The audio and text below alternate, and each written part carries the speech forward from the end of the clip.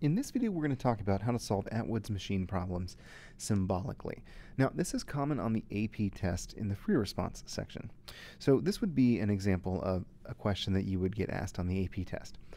A box of mass M1 is attached to a box of mass M2 as shown below. Box M1 is bigger than box M2.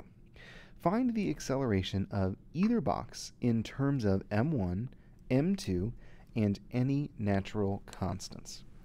Okay, so this is usually how the AP test phrases the free response question. Find the acceleration in terms of. What that means is your final answer should be A, the acceleration equals, and then something on the right-hand side that has m1, m2, and then any natural constants in some sort of mathematical arrangement. Now, for us, the mathematical constant, or sorry, natural constant um, that's relevant is g, or the acceleration due to gravity, which we would normally say is 10 meters per second squared, or 9.8 if we're being more exact. So, really, this sentence at the end, it's asking you to find a with m1, m2, and then g as the only things on the right-hand side. So let's take a, look at what that looks like and, and what counts as a correct answer. To solve this problem, we're going to do what we do with Atwood's machine problems all the time. The first thing that we have to do is think about how does it move, um, or how does it accelerate.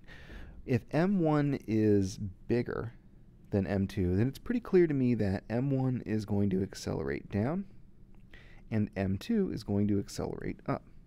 So those dictate the direction of positive uh, motion and for force when we write equations for m1 and m2.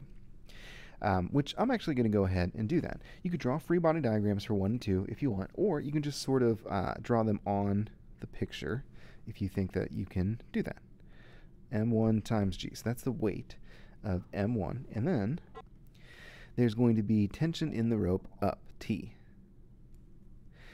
Now, notice that the tension in the rope T has to be less than the weight of M1G because the weight of that first box is uh, greater than the tension, and that's why it's going to fall down and accelerate as it falls.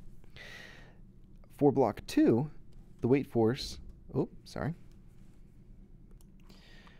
For block 2, the weight force is smaller, M2G.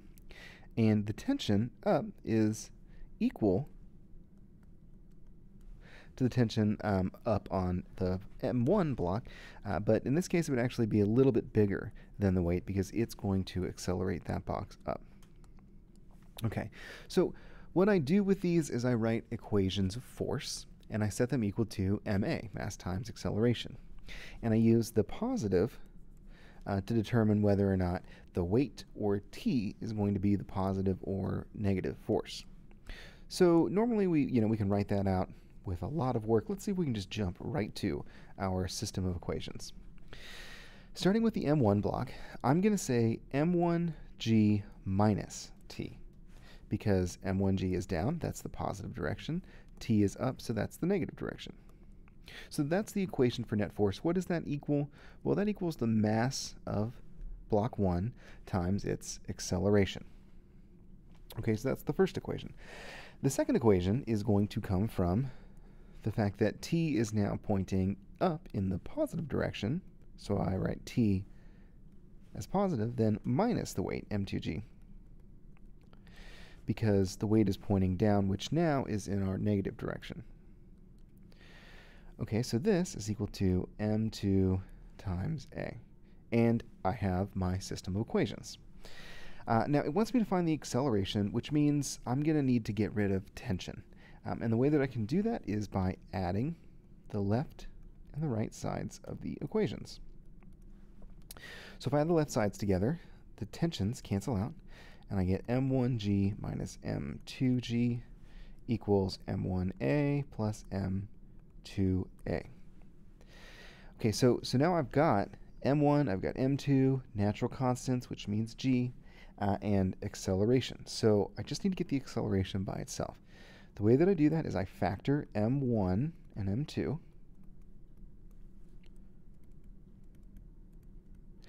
And then I divide both sides by m1 plus m2.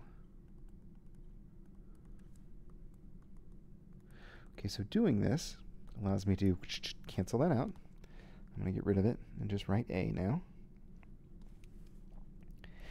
And here I have an equation for a, and the only terms in that equation are m1, m2, and then g, which is a natural constant.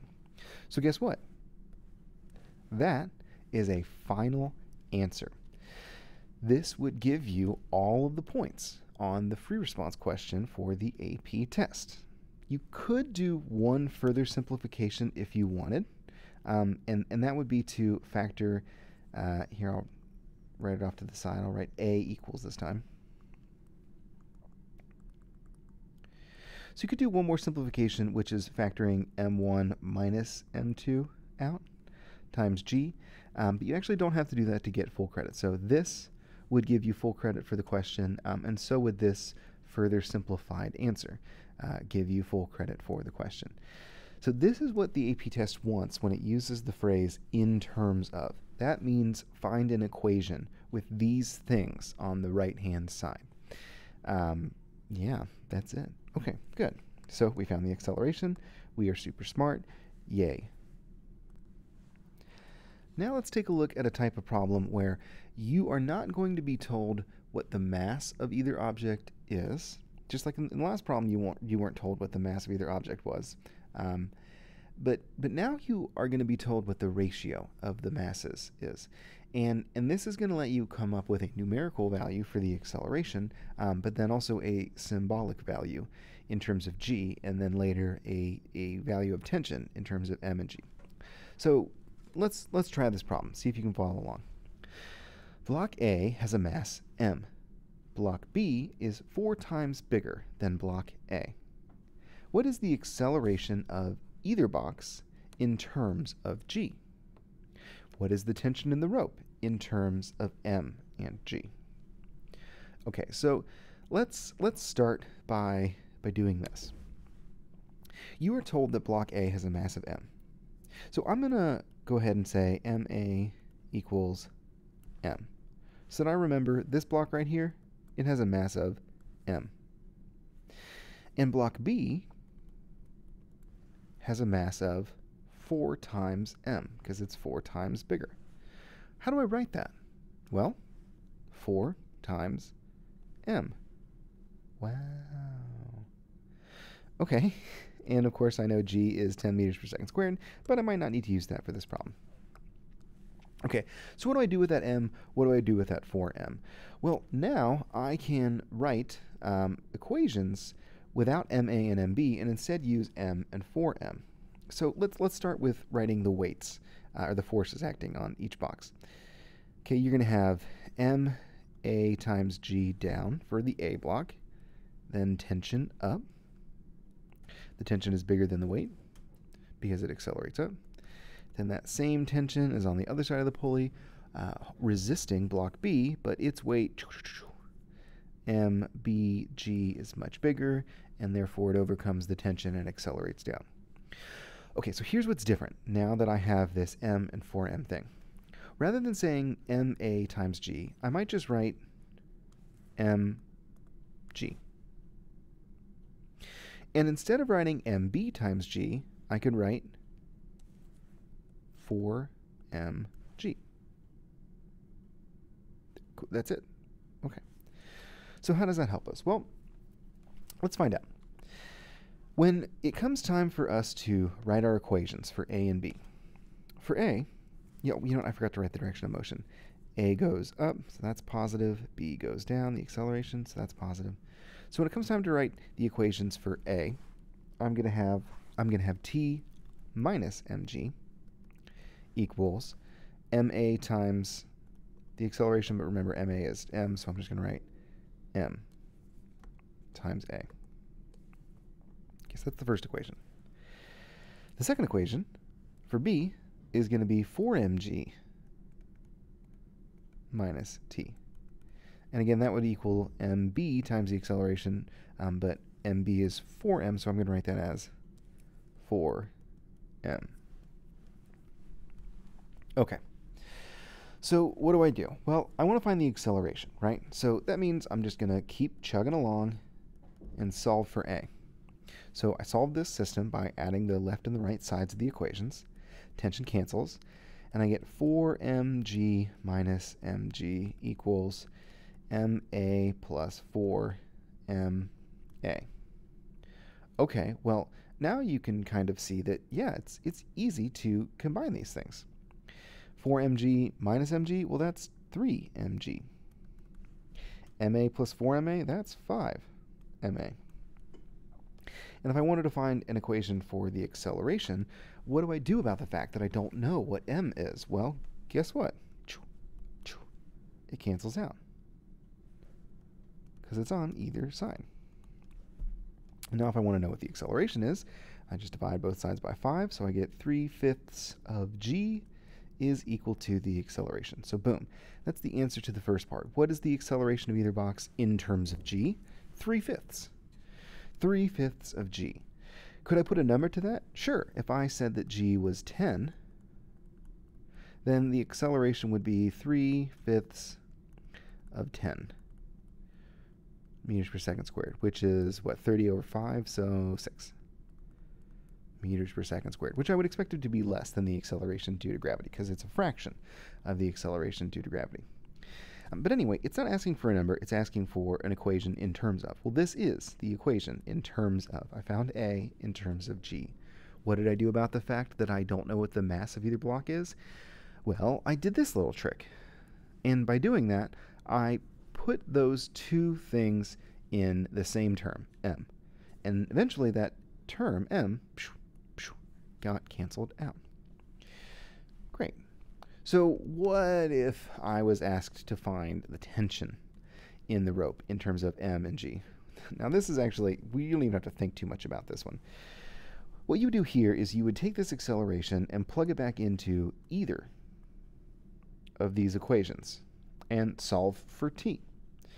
Now, but when you do this, you're going to get m in your final answer. It won't cancel out.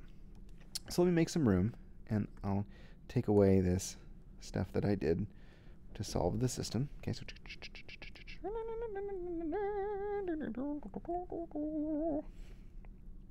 Okay, so we know the acceleration is 3 fifths of g.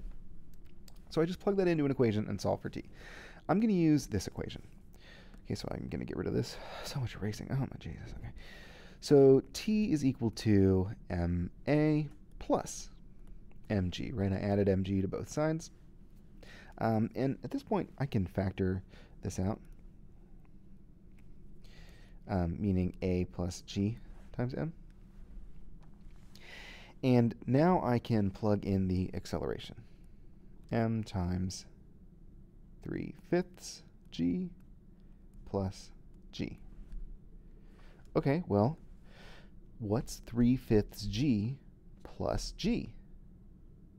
Well, that's kind of like saying 5 fifths g, right? Because that's 1. So now this becomes m times 8 fifths g. Or the way that this would probably be written on, um, like, like if this was multiple choice questions on an AP test, is it would say 8 fifths mg. Which is saying that the tension in the rope is 8 fifths of the weight of block A, which makes sense that it would be a larger than 1 fraction because, again, the tension has to be larger than the weight of the object. So boom, you just did it. You found the tension in the rope in terms of m and g. Now to do that, you found the acceleration in terms of only g. And to do that, we did this little trick right here. This trick is like it's the trick. It's the way that you can solve these problems symbolically um, if you don't know what their masses are. And so sometimes um, if you if you see something like the toad is three times as big as the insect, then that's what it's asking you to do. Call one thing A, the other thing B, and then write M for one of them, and then the multiple for the other. Maybe the insect is A, and it has mass M, and then the toad is eight times bigger then the mass of B, the toad, would be 8m. That's what the trick is to doing this type of problem. Okay, you're super smart, you're super awesome, and you're super great, and you're super done with this video.